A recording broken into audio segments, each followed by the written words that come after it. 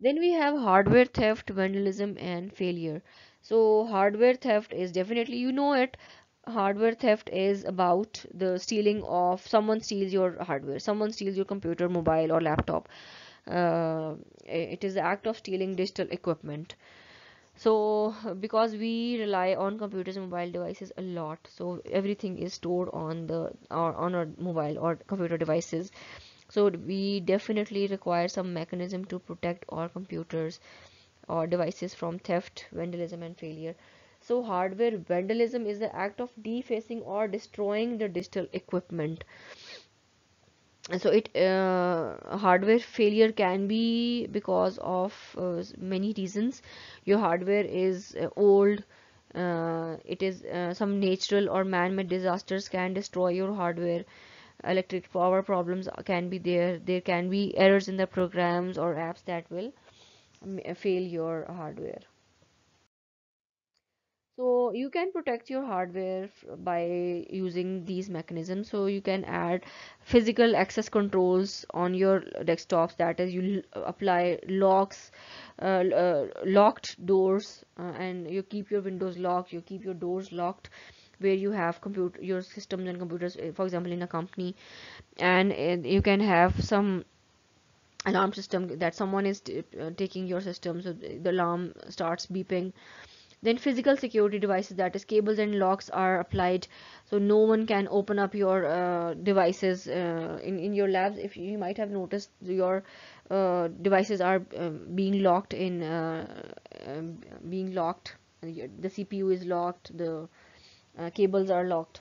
Then uh, uh, apart from that you can also add a device tracking app. So you can if somebody still steals your hardware so there is a tracking application with it. So you can track who where is your device gone. And nowadays we have uh, this uh, tracking application on our mobile phones as well. Then we have hardware failure safeguards uh, to protect our computers from hardware failure. We can use surge protectors we can use ups we can use uh, we can duplicate the computer components and we can use by using fault tolerant computers. Nowadays we have such good computers which are fault tolerant which can uh, tolerate uh, high intensity electric power but still we should and phir bhi nahi hota then we should what is the ultimate solution? Backing up of uh, everything so backing up that is the ultimate safeguard. Uh, we can when we will have taken the backup of our system we know that everything in our computer is uh, even if it is stolen we know that it is being saved on some uh, uh, backup. There we have the backup of it. So backup is it actually it is actually a duplicate of a file a program or a media that can be used if the original data is lost damaged or destroyed. So to protect data loss caused by hardware software information theft we can back up the computer and mobile devices regularly. So if we have taken the backup uh, it means that we have made its copies. So in the case of system failure or the disk uh, or the uh, corrupted files we can restore the files by copying the backup from the original location on the computer or mobile device. So if you choose to backup uh, locally be sure that you have uh, taken a good backup of them. So uh, off-sites backups can be also taken which are stored in a location separate from the computer or mobile device site. So for example cloud storage is an off-site backup. You can take backup on the same system. You can take the backup on some external hard drive. You can take the backup on an opt on a cd but make sure your backup media is in a fireproof and a heatproof uh, place. Or it should be off-site. Off-site is a very good option. That is uh, it is a location which is separate from where you typically store or use computer or mobile device. So keeping backup copies off-site minimizes the chance that a single disaster will destroy both original and backup media. So if your original uh, data is uh, and the off-site backup is at, at the same place then definitely if uh, there's some natural disaster both will be lost. So off-site location can be a safe deposit box at a bank. You can take a locker uh, you can uh, place it at cloud storage or you can take the cloud backup of your things. So cloud storage provides storage to uh, customers along with some synchronization services but uh, usually it has very small uh, space. You uh, have to buy more space. So by contrast cloud backup provides only backup and retrieval services but generally provides continuous data protection. So if you are opting for cloud uh, because it will save you the cost of maintaining hardware. Because if you uh, have not any cloud storage then what will you do? You will keep on buying uh, a new hard drive every time you have to take the backup. So if you have a cloud storage so you don't have to buy a hardware uh, every time. So you don't have to maintain that hardware. You don't because hardware can be again uh, it can be stolen. So you can take the backup of the programs available from many resources. There are operating systems that include a backup program. There are backup devices external hard drives that that can include the backup programs there are standalone um, backup tools as well. Then this cloud storage uh, providers they will offer you backup services. So you can have a cloud backup uh, of the software on your computers that will back up all your files on the cloud whenever they are being changed. So uh, you can take the backup of your things. So there are uh, four types of typically four types of backup. That is uh, a full backup a differential backup an incremental backup or a selective backup. And then we have a continuous uh, data protection as well which is a fifth type of data protection. And the sixth one is the cloud backup. So uh, we can also uh, use these some there are some users that implement this three generation backup policy. That is grandparent parent and the child. And uh, and the, the child is the most recent copy of the file. Parent is the second oldest copy of the file. And the grandparent is the oldest copy of the file. So whenever you will make uh, a change make a change that is the most recent copy. So it will become the uh, it will uh, when uh, it will be the most recent copy. So when a new backup is performed this child will become the parent. The parent will become the grandparent and the media on which the grandparent copy was stored may be erased and may be reused for a future backup. Whereas full uh, backup is um, the one in which you will have taken the full backup of your things. Differential is a partial backup you have taken some uh, in, in, that you have taken in parts incremental backup is also taken in increments and selective backup is you select something and you uh, leave the rest. And uh, then we have uh, the continuous data protection in which you are continuously taking the backup of your uh, whenever you have taken make, made some changes you are that is being continuously being done. And then the uh, backup is on the cloud. So let's see them in more detail okay in full backup you copy all the files on the media in the computer. It is a fastest recovery method. All the files are saved because you have taken the you have made a copy of all the data on the computer. But the backup time will be a lot because you are taking uh, the full backup every time. So this is a disadvantage. Then differential backup will copy only the files that have changed since the last full backup so copying only the files that are changed so it is a fast backup method because you are copying only the files that have changed so it will require minimal storage space to backup but recovery time is consuming because the last full backup plus the differential backup is required. Then we have incremental backup which will copy only the files that have changed since last full or incremental backup. It is also the fastest backup method. It will require minimal storage to backup only the most recent changes are being saved. And then recovery is most time consuming because the last full backup and all incremental backups are required since the last full backup was done then selective backup is that you will choose which folder and file is to be required in a backup so it is giving you a fast backup method and it provides some great flexibility. And but it is difficult to manage uh, individual file backups. You may forget which files you have copied and which files you have not copied. It is least manageable of all the backup methods uh, what you you do you you sometimes you use the hard drive uh, you use the usb to do the selective backup ke thodi bahut cheeze bas copy karni hai. Then we have continuous data protection in which all the data is backed up whenever a change is made. Uh, it is the only real time backup and very fast recovery of data is there. So that is uh, uh, whenever you have done a ch small change the data is being backed up. So it is very expensive and requires a great amount of storage uh, it is usually being done on your phones. Uh, then uh, if you have turned on the auto backup uh, every time you have done a change it will be uh, updated. Then cloud backup. So files are backed up into the cloud as they change. So when the files are being changed they are being backed up. So cloud backup provider maintains backup hardware.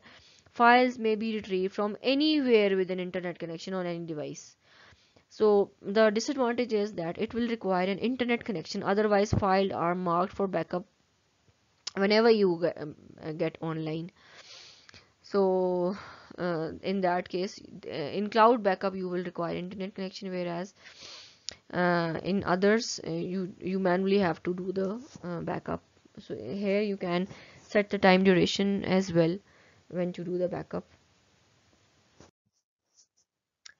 wireless security is required because we are using uh, Wi-Fi a lot these days.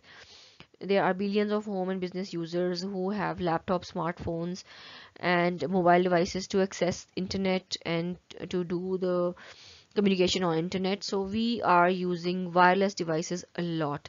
So this wireless uh, devices uh, using of uh, usage of wireless devices it acts uh, it poses some additional security risk. Uh, because everything is being is now wireless. So you at your houses use wireless home network. At university you use wireless networks. At public spots you may use uh, public wireless hotspots or uh, your schools universities have wireless networks so you can use Wi-Fi to access. So uh, some um, although this wireless access provides many convenience to users because you don't have to use uh, the wire to attach uh, your system to the network it will put, uh, pose some additional security risks because some perpetrators they will connect to other wireless networks to gain free internet access you, uh, they may try to access organizations confidential data. So to access a wireless network the individual must be in range of the wireless network. So some intruders they intercept and monitor communications whenever uh, you are trying to send something. Uh, so some someone will intrude into it and your data will be lost. So others connect to the network through some unsecured wireless access point or a router uh, to steal your data.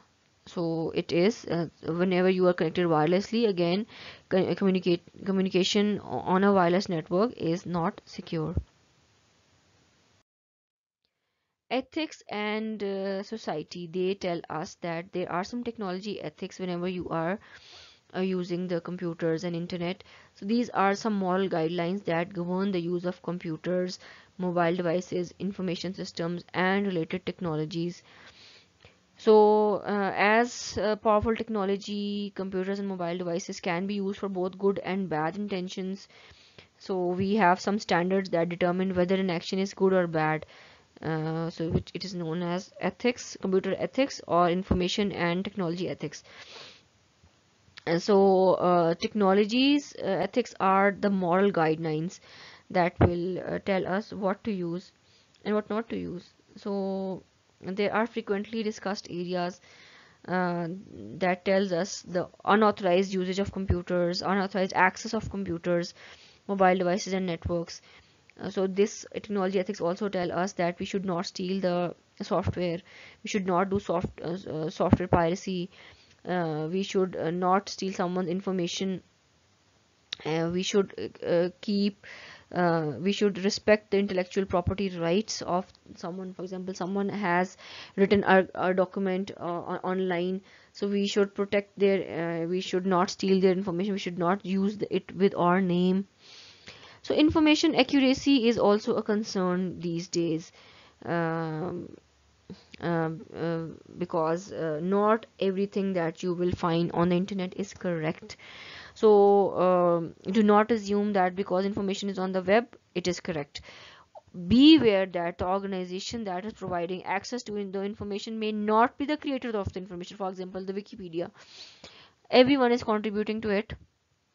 So the wikipedia is uh, giving you the access to the information. He is not a creator. People are writing uh, that information so everything is not authentic whatever you see on the internet. So in addition to the concerns about the accuracy of computer inputs some individuals or organizations they also raise the questions about uh, how of about the usage of computers um, the outputs of the computers as well. For, for example uh, users can digitize photos and then they can add and remove the images from the internet so we have intellectual property rights to uh, to keep our things uh, to uh, keep our things unique.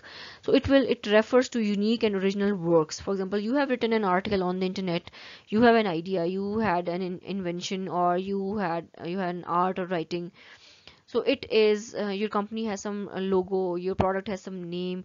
So it is your intellectual property right so these are the rights to which the creators are entitled for their work.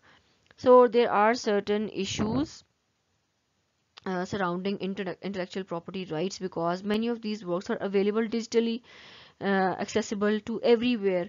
So what people do they uh, they access that uh, content uh, because digitally it is available to everyone at every place.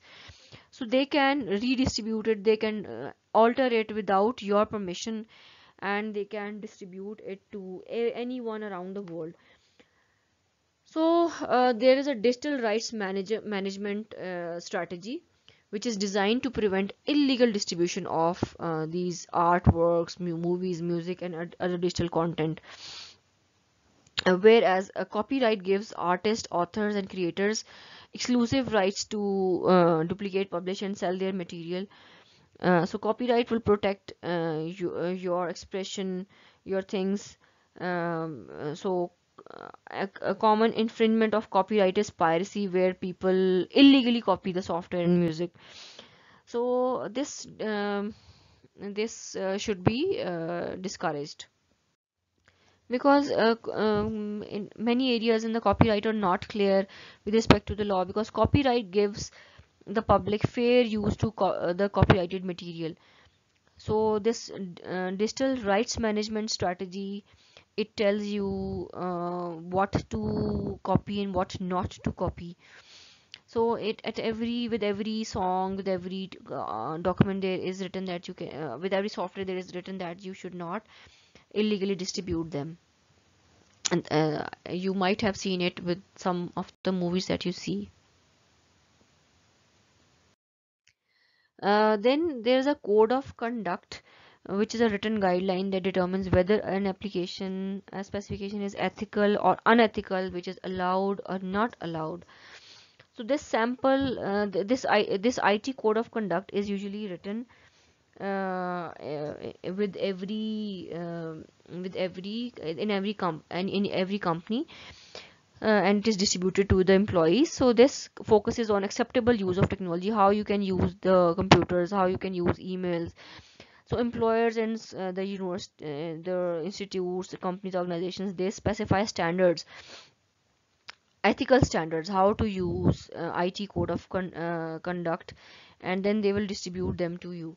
For example you might know that you should uh, not use um, uh, your uh, emails to uh, harm people uh, for, uh, just look at this sample IT code of conduct. So technology may not be used to harm other people. Employees may not meddle in others files. Employees may not may use technology for their purpose but for which they have been authorized. Technology may not be used to steal. Technology may not be used to bear false witness. Employees may not copy or use software illegally employees may not use others technology resources without authorization. They may not use others intellectual property as their own etc and there are lots of other IT code of conduct. Then there's a concept of green computing. Um, what we usually do we uh, waste things a lot we waste the resources a lot. So for example electricity and paper while when while we are using the technology. So green computing it involves reducing the electricity and environmental waste while using computers mobile devices and related technologies. Uh, so personal computers displays printers and other devices should comply with the guidelines of Energy Star program. You might have seen uh, at your laptop there is an Energy Star program which shows that uh, you you should this this device conserves energy. So uh, conservation of energy means your, your computers and devices will comply with the Energy Star program uh, and you will not leave a computer device running overnight. So you will conserve energy. So you will turn off monitor printer and other devices when they are not in use so the um, uh, United States uh, Department of Agency and uh, Protection Agency, it, they have developed this Energy Star program to help reduce the amount of electricity used by the computers. So uh, this program encourages manufacturers to create efficient devices. So if there is an Energy Star uh, displayed at your laptop, it is um, uh, because it the it shows that your device uh, reduces the amount of electricity used by your computer. So uh, this uh, it shows that your manufacturer has created your uh, the, uh, that energy efficient device. So it for, it means that whenever you are not working your computer or device will be uh, switched to sleep or power saver mode after such inactive minutes or hours so computers and devices that meet this Energy Star guideline, they have this Energy Star label uh, on it. So organizations can implement, uh, so okay, UN can also reduce environmental waste uh, by uh, by reducing the electrical waste uh, by using paperless methods to communicate, using email instead of using papers recycle paper and buy recycle paper recycle toner in cartridges. We what we usually do we throw it but we can recycle them. Uh, we can recycle computers mobile devices printers and other devices. We can telecommute uh, use video conferencing and voice or uh, uh voice of or over in voice over uh, internet protocol for meeting instead of going uh, some somewhere physically we can consolidate servers by using virtualization. We can purchase high efficient energy equipments uh, using sleeping modes uh, by computers devices with low power consumption processor and power supplies. Computers we should buy computers which uh, have very low consumption. When possible use outdoor to cool the data center or computer facility instead of uh, switching on the uh, electricity sector sector. So these are uh, the some of the energy conservation and reducing environmental waste then we have information privacy. Information privacy refers to the rights of individuals and companies to deny or restrict the collection, usage, and dissemination of information about them. So organizations often use huge databases to store records such as employee records, medical records, um, everything online. So there is a lot of data which is personal and confidential which is accessible only to it should be accessible only to the authorized users. What we do uh, we sign into the websites and these websites are actually collecting data about us so that they can customize advertisements and they can send us their personalized email messages. So there are some employers that are monitoring our computer usage and they are monitoring the email messages as well.